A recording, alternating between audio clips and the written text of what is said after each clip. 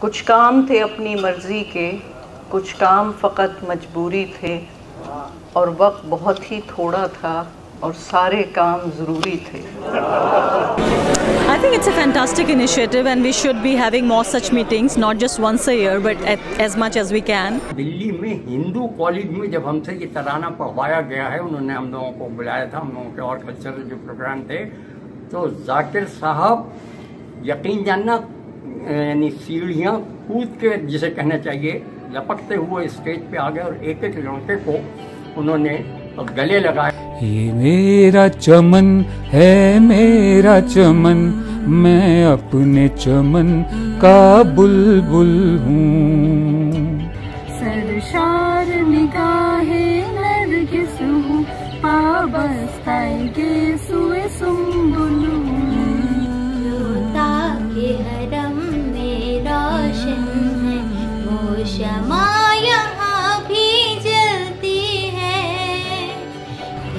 दश्त जुनू दीवानों का ये बस में वफा परवानों की है सारे जहाँ का सोज यहाँ और सारे जहाँ का साज यहाँ I guess the role of institutions like the Aligarh Muslim University, of the vision of Sir Syed Ahmad Khan, of a person whose ideas were so far ahead of his time, becomes more relevant to us than ever before.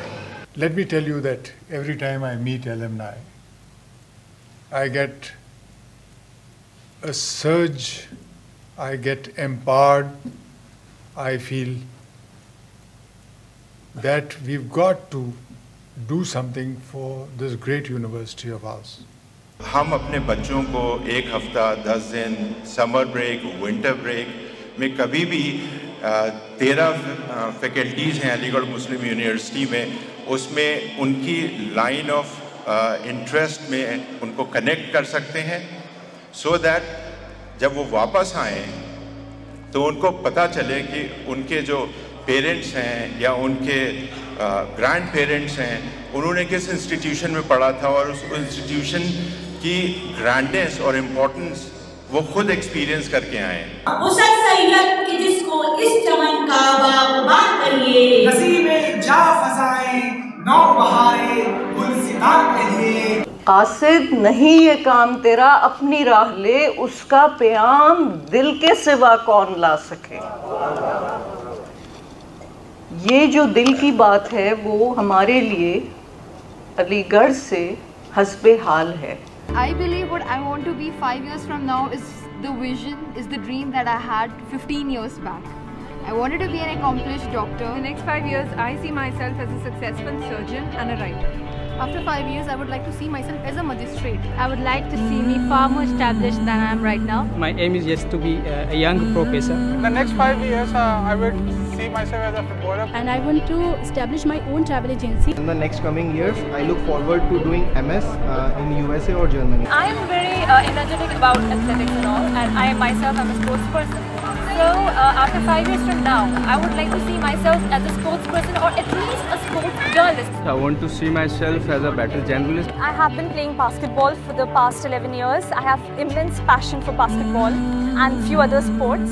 I want to pursue the PhD in automotive field. Doing a good cooperative job. And I want to join Indian Air Force. Because I wanted to be a social activist. I would look forward to working in a corporate world. I look forward to being an IAS officer. Inshallah, I will be a big scientist in the future. ये चेहरे इश्क न जाने, ये पर्दे हटा देती है। जहाँ दिल का है ठिकाना, ये राह बता देती है।